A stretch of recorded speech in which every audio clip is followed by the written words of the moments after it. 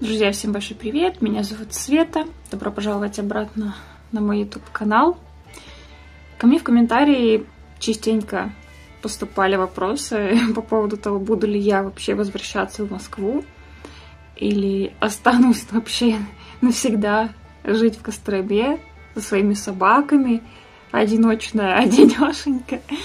В общем, я хочу немножко рассказать вам о планах, о своих мыслях по поводу вообще Костромы, потому что я заметила, что как-то люди немного неправильно понимают э, мое пребывание здесь, на каких я правах нахожусь в этом городе. Но все гораздо гораздо проще, чем может показаться, все гораздо банальнее, никакой сказки и ничего сверхъестественного не происходит. Я здесь на летнем отпуске. Вполне возможно, что я даже не все лето буду здесь. Может быть, я уеду домой в Москву раньше. Может быть, я... Ну, это зависит от, от обстоятельств, от моего вообще состояния здесь. Как вы видите, меня тут клещ, блин, укусила. Я, извините, тут на антибиотиках сижу, поэтому я так прям не загадываю ничего. Но, ну, надеюсь, что, может быть, лето я здесь проведу. Но в любом случае, я здесь не живу. Это не мое это как бы квартира не моя. Я не имею как таковых прав вообще как бы здесь постоянно жить. Даже, даже не то, что прав, такой возможности у нас сейчас нету. Как бы вот, как бы вот прям не хотелось остаться здесь на постоянной основе. К сожалению, пока такой возможности нет. Возможно, в будущем она появится, ну, в общем, посмотрим. И я сегодня хочу немножко поднять тему места жительства. Ну, про Москву, конечно, поговорим еще немножко о Костроме. О том, вот видите, я постоянно кочую то в Москву, то в Кострому. Я и в Подмосковье долгое время жила. И мне, мне безусловно, есть чем все сравнивать и приходить к какому-то, ну, для себя а, удобному такому заключению по поводу именно места жительства, каким образом оно влияет на нас – важен ли вообще домашний уют, важен ли город, где мы живем, квартира, там, дом, это что угодно. Ой, ну, на самом деле, я уже стала, знаете, смотреть на тему места жительства в более философском ключе.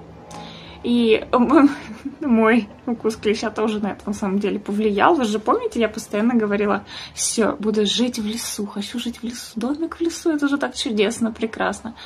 Ни, нифига подобного. А, жизнь в лесу это, конечно, замечательная экология, свежий воздух, природа, птички и так далее.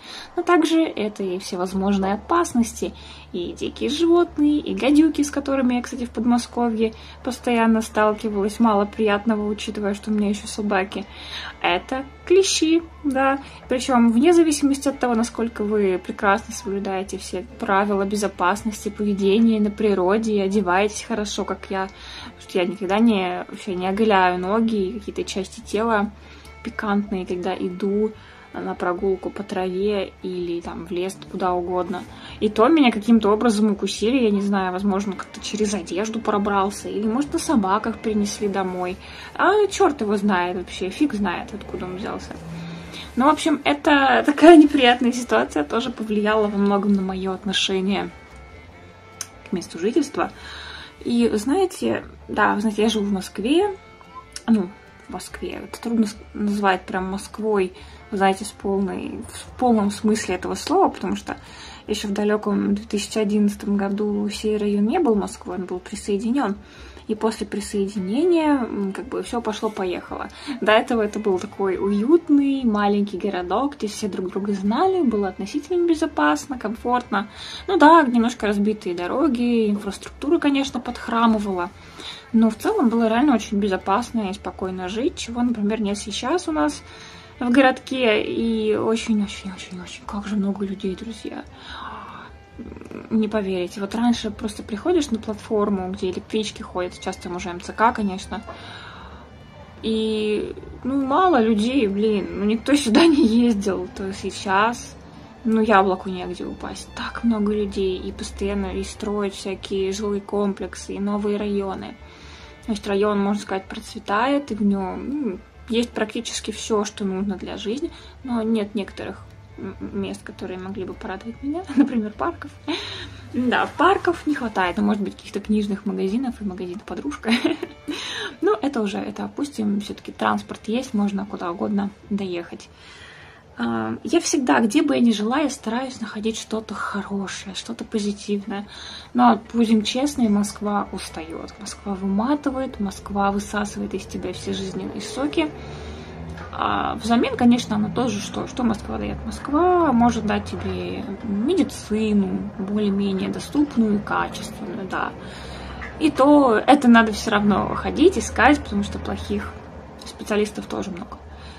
А, ветеринары, да, у меня две собаки, поэтому а, в городе, где я живу, прекрасные ветеринары. У нас замечательный есть зооцентр, а, там болели все мои собаки. Ну, да, я на самом деле, у меня засов не хватает, насколько я благодарна специалистам, что там работают, за их любовь, реально любовь к животным. Знаете, насколько это редкость в клиниках? Обычно у них реально такой конвейер, они хотят быстрее всех обслужить, и никакой там любови и позитивным отношением к хозяевам и животным там просто нету. А в клинике, куда ходим мы, она вообще близко к нашему дому, там и моя самая, самая первая собака проходила лечение. И несмотря на то, что врачи сменились, там уже другие ветеринары, отношение осталось прежним. Цены, кстати, тоже, вы знаете, достаточно адекватные, как ни странно. Да, как и везде, впрочем. Впрочем, как и везде. Вот сколько я сменила съемных квартир, городов, совершенно разных домов, и панельных, и кирпичных, и моноблоковых. И вы знаете, я прихожу к таким двум важным выводам, что, по сути дела, не имеет значения, где вы проживаете, но важно, чтобы вот то место, где вы живете, куда вы возвращаетесь, а, которое вы или один делите сам с собой, или еще с кем-то, чтобы оно приносило вам удовольствие, и вы чувствовали себя там, да, в безопасности, комфортно и уютно.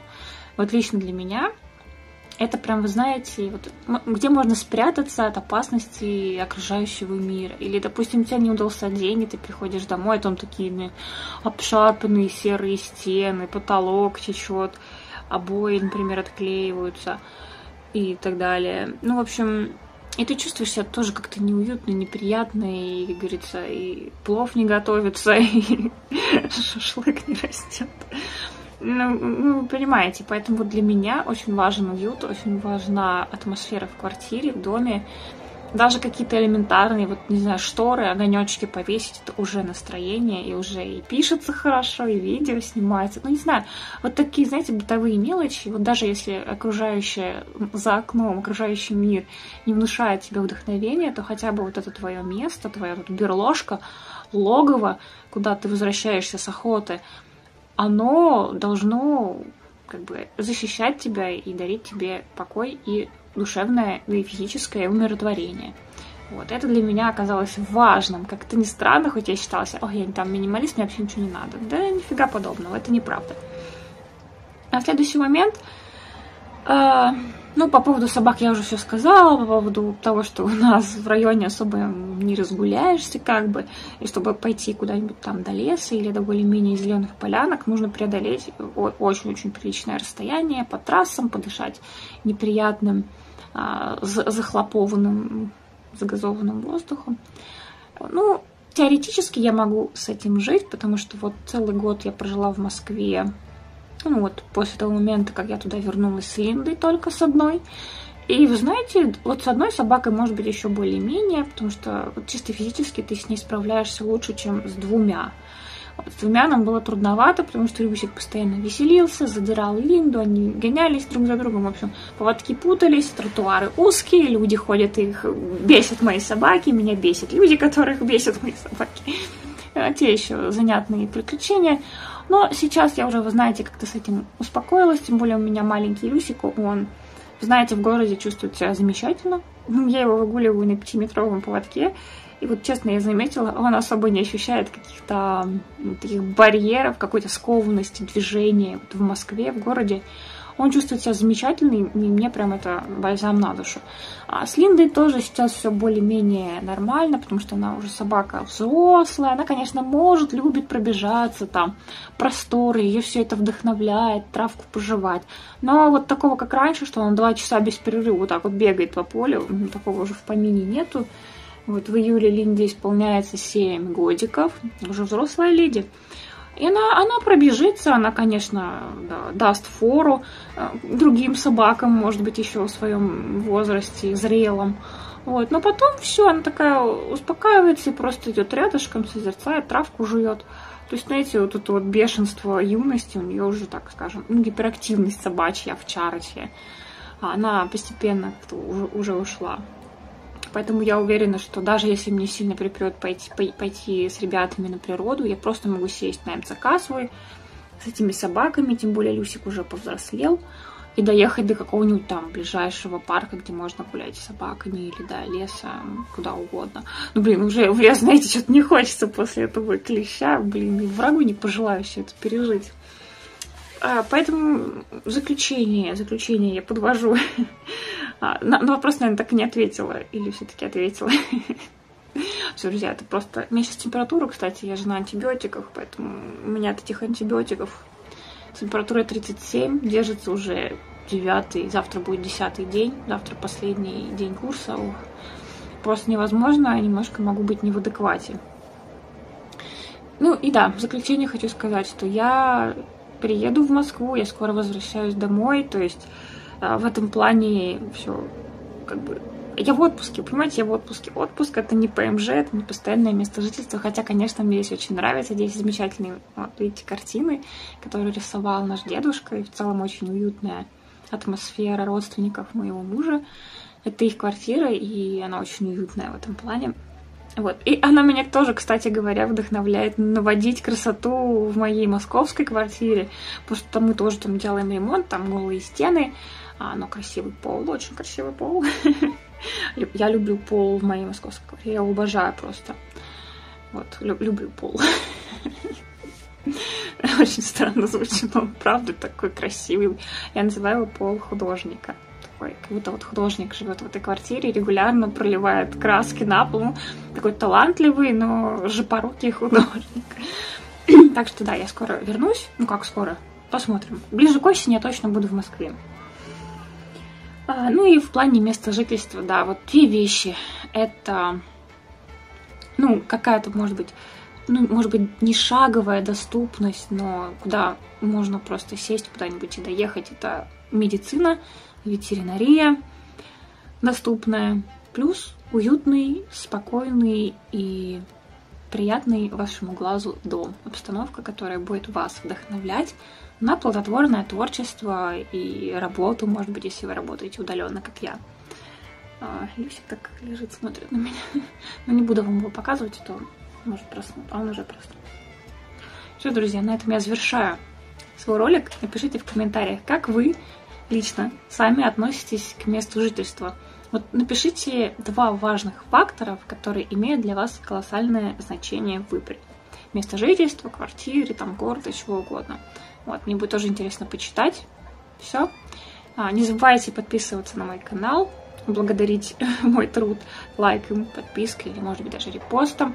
Также напоминаю, что у меня есть два блога на Дзене. Один посвящен моей жизни а, в большом городе с двумя овчарками. Ну, а второй это литературно-творческий, такое слово блудливый блог. Слово блудливый. Хорошее слово. Поэтому, да, до встречи в следующих видео. Уже очень скоро увидимся. Пока-пока.